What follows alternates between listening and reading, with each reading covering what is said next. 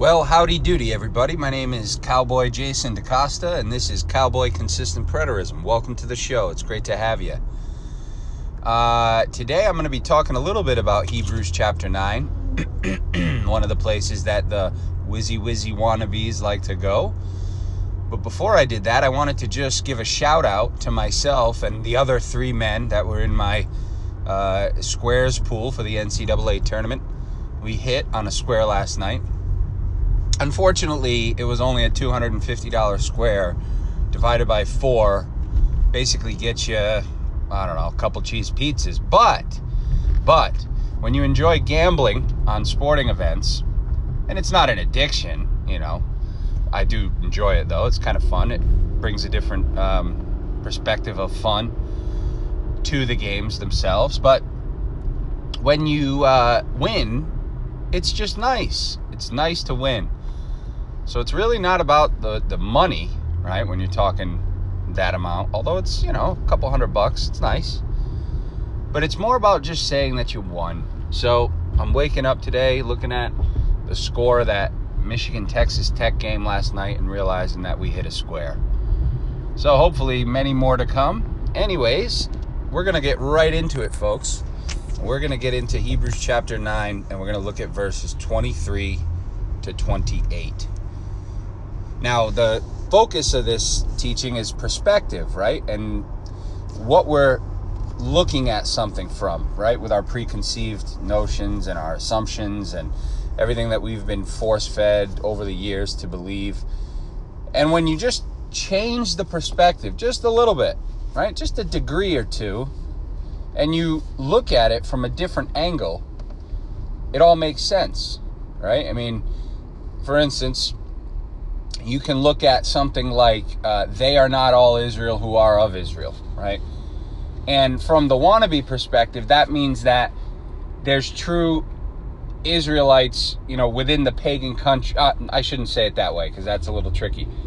To a wannabe, that means that Gentiles were true Israelites. Like the, the literal pagan Gentiles who never had any connection to God could become true Israelites by faith but when you understand the story, you know that all that Paul is saying there when he says not all Israel is Israel, or however he words it, is that not all who profess to be Israel were Israel.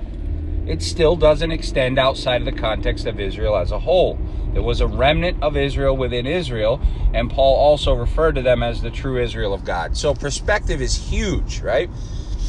Another one is Galatians 3, where it says, uh, it doesn't matter if you're Jew or Greek or Jew or Gentile. If you're Abraham's, I'm sorry, if you're Christ, then you are Abraham's seed and an heir according to promise. Now, wannabes look at that and they say, see, look, if you have faith, it makes you Abraham's seed and an heir according to promise, right? No, that's not what it says. If you change the perspective on it and understand it in light of what it's actually saying, you understand that it's saying if you are Christ's, it's because you are Abraham's seed and an heir according to promise. Okay? In other words, didn't matter if they were Jew or Gentile, didn't matter if they were slave or free.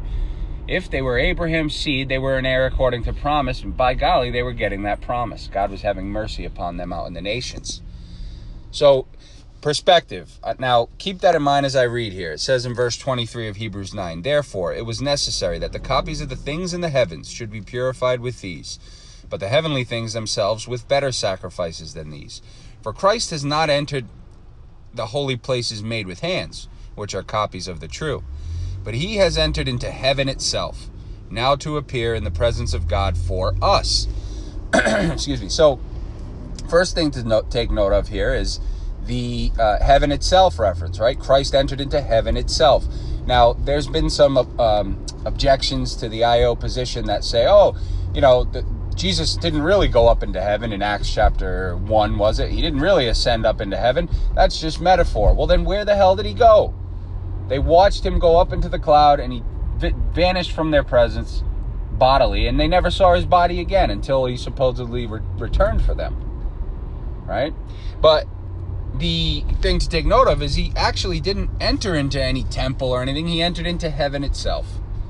All right, and he appeared in the presence of God for them. He, it says for us. Now we always take notice of these words: us, you, them, they. But now, you know, you kind of just pick and choose as an inconsistent full pret. Oh, this this is us, right? He's appearing in heaven for us. Yet the other us in the other passage, oh, that's first century, you know, Israelites. So we have to be more consistent with the audience relevance. So he appeared in heaven for us. And then it goes on in verse 25 and it says, Not that he should offer himself often, as the high priest enters the most holy place every year with blood of another. He then would have had to suffer often since the foundation of the world. But now, once at the end of the ages, he has appeared to put away sin by the sacrifice of himself. Wow.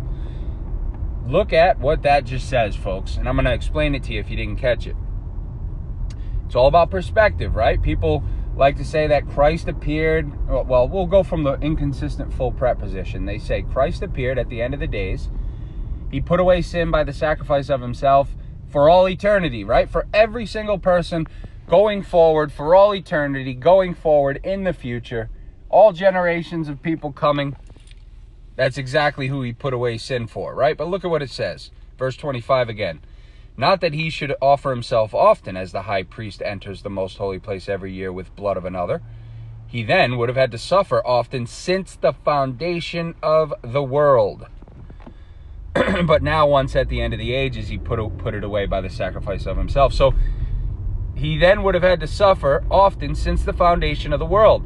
So, where's the futuristic tone to this? Right? The author is essentially saying that if if that were the case, Christ would have had to suffer often since the foundation of the world. In other words, his his death or his dying was applicable to those in context going backwards since to the foundation of the world. I hope that makes sense. And he, he caps it off and says, But now he has appeared once at the end of the age. Right? And it says ages, but it's actually just age in the original.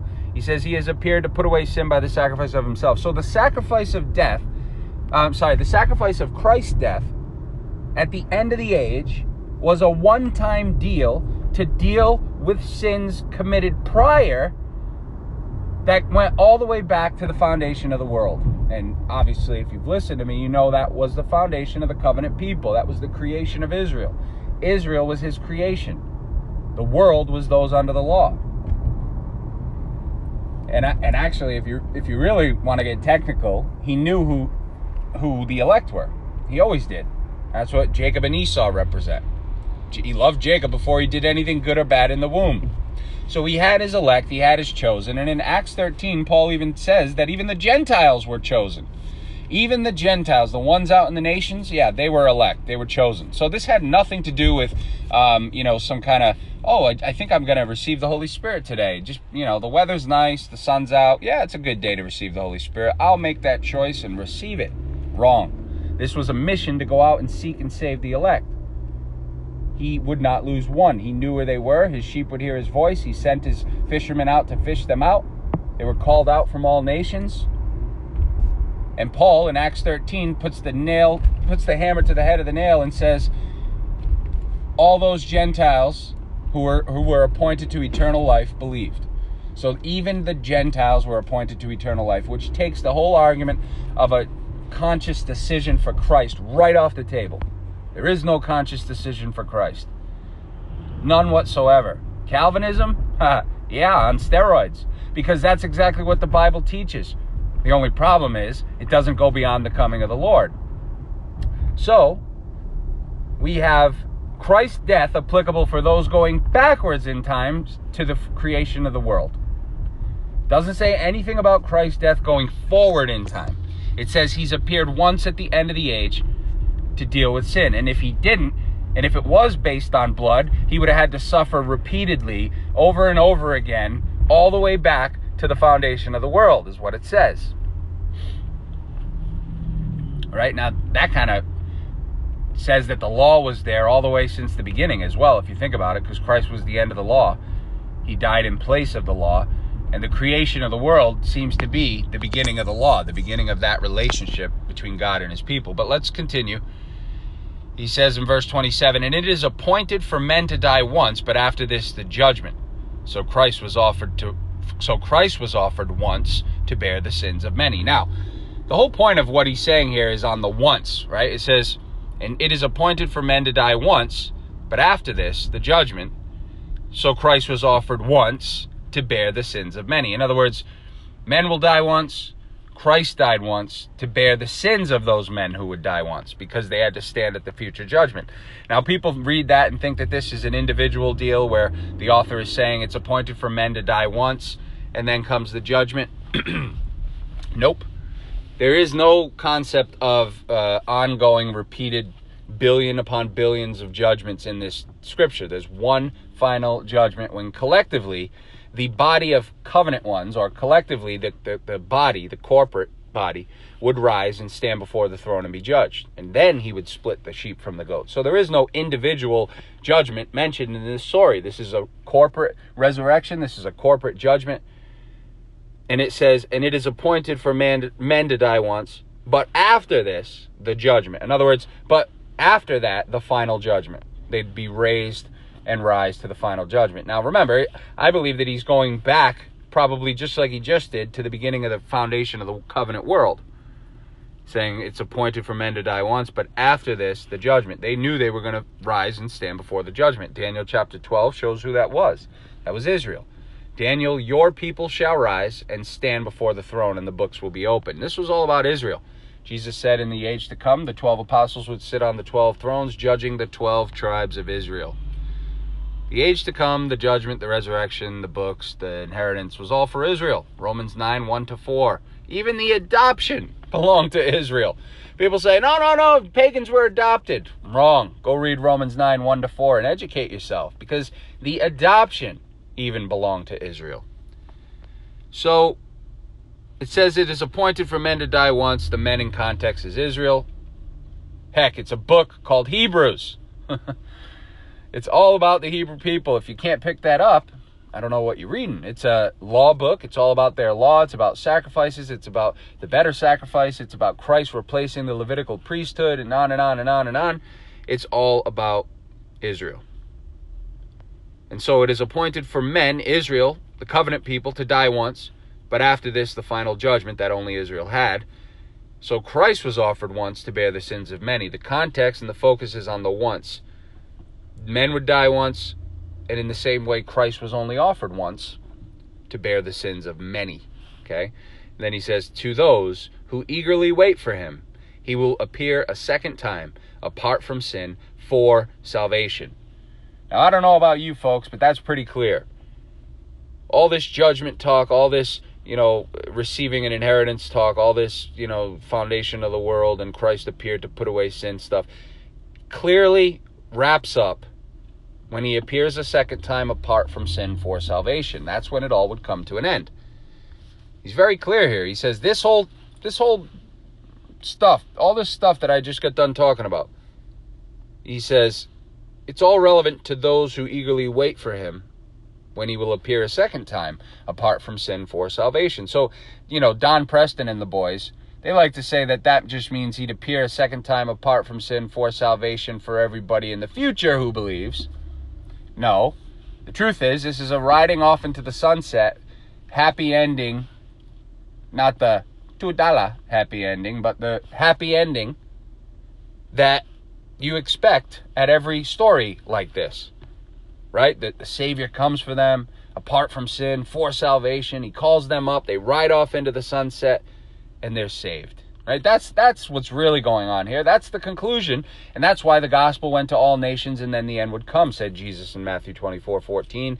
That's why all the Israelites were saved by the coming of Jacob's Redeemer, and that included the fullness of the ones in the nations, according to Romans 12, uh, 11.